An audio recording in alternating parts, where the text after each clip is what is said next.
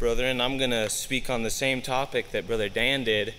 And whenever I was preparing this, I was planning on preaching the sermon, but God decided that it'd be better for me to affirm the sermon. So I'm going to affirm what Brother Dan has already spoken to you.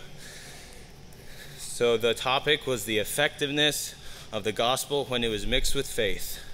And the text again is Hebrews 4 2. For unto us was the gospel preached as well as unto them. But the word preached did not profit them, not being mixed with faith in them that heard it. So I wanted to start out with, with showing you the magnitude of the gospel. Romans 1:16 tells us that the gospel is the power of God unto salvation. That the work of salvation is a huge work, and the gospel is the basis for that. And the gospel is a lot bigger than some think. I've, I've found that to be true whenever I was preparing this. The gospel is the tool that God is using to work out salvation. 1 Thessalonians 1 5 says, For our gospel came not unto you in word only, but also in power, and in the Holy Ghost, and in much assurance. The gospel also brings blessing, as Romans 15 29 tells us, and hope as Colossians 1 5 says. The gospel is so great and wonderful, and it brings so many benefits. And now the writer of Hebrews has told us that we can profit from the gospel when it is mixed with faith, and it will effectually work in us. The gospel is like an, an active ingredient. Almost all the references to the gospel in the scriptures have to do with it doing a work and accomplishing something. The gospel is like the enabler. Christ Jesus opened up the way for the will of God to be accomplished, and the gospel is the message of that. It is the power. Now, faith enables us to be able to step into that power. Faith makes us compatible with the gospel, and it, enables us to reach out and take hold of things that our natural man wouldn't be able to reach. Without faith, the gospel is out of our reach and it'd just be flying over our head. In 2 Corinthians 4 3, it says that the gospel is actually hid to those who are lost. But we have access to the gospel through faith. Another way that I thought about it is that since the gospel is so large and powerful, that with all the implications that come with it and the blessings that it brings, that we wouldn't be able to take it all so it would just overwhelm us and we wouldn't really be able to profit from it. But faith will kind of channel it down so that we can receive it and it can really work in us. Hebrews 11:1 says faith is the substance of things hoped for, the evidence of things not seen. So faith will lift us up to heavenly things that we are hoping for and spiritual things that we don't see.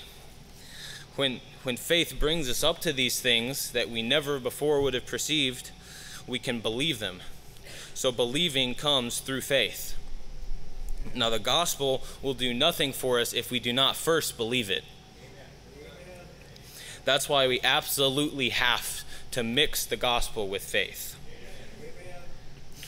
The Romans 1:16 text that I mentioned says the gospel is the power of God unto salvation to everyone that believeth and to only those who believe. To someone that doesn't have faith, who actually can't believe these things, the message of what Christ did will go in one ear and right out the other, and it won't do anything for them. But God has blessed us with faith and the ability to believe these things so that we can understand and be blessed by the gospel. Now, there are a lot of things that we do by faith, and this is definitely one of them. And Ephesians 3 6 says that the Gentiles should be fellow heirs and of the same body and partakers of his promise in Christ by the gospel. Now this the gospel is why we get the promise. This is what we're living for to obtain the promise and the gospel is why we get that. It's doing a great work in us, brethren. Now, there's no way that the gospel will do its work in us if it is not mixed with faith and if we don't believe it. The gospel is the message of what Christ did. And in a sense, we're going down the same path that Jesus did. because we're living in this world that's opposing us and it persecutes us, but we have a hope of being with God.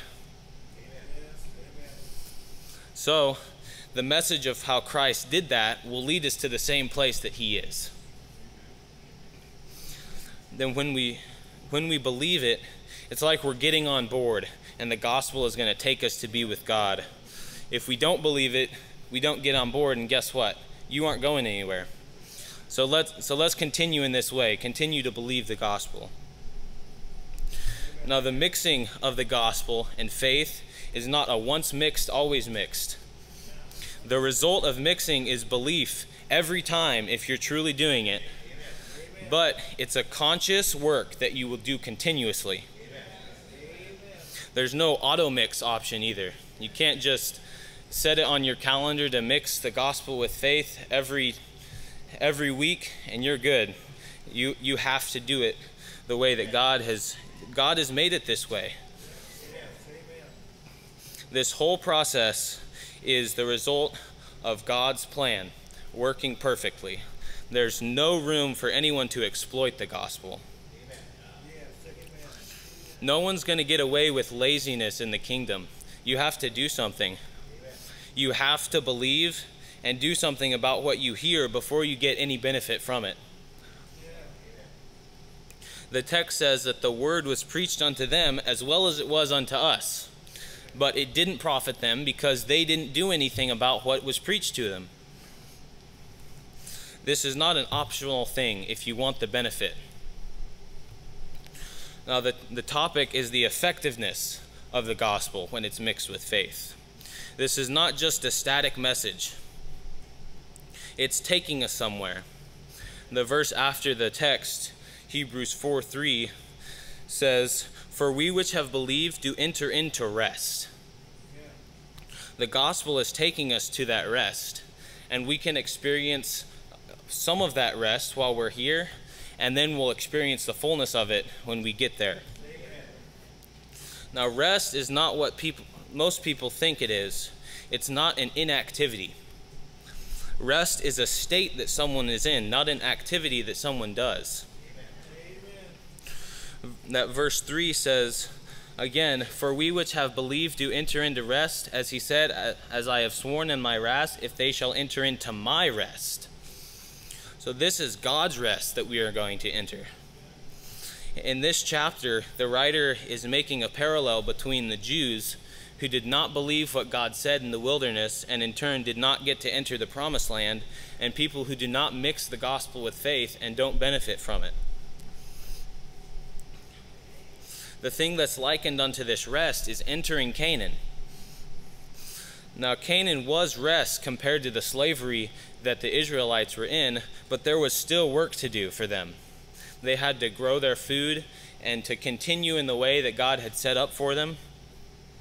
But that was rest. We will enter into God's rest, but is God inactive? Heaven is our promised land, and like Canaan, it is prepared for us, but there is also a work waiting for us to do there. Luke 19, 12 and 13 says, He said, Therefore, a certain nobleman went into a far country to receive for himself a kingdom and to return. And he called his ten servants and delivered them ten pounds, and said unto them, Occupy till I come. Right now, we're in the occupying stage, waiting for our Lord to come. Then in verses 15 through 17, it says, And it came to pass that when he was returned, having received the kingdom, then he commanded these servants to be called unto him, to whom he had given the money, and that he might know how much every man had gained by trading. Then came the first, saying, Lord, thy pound hath gained ten pounds.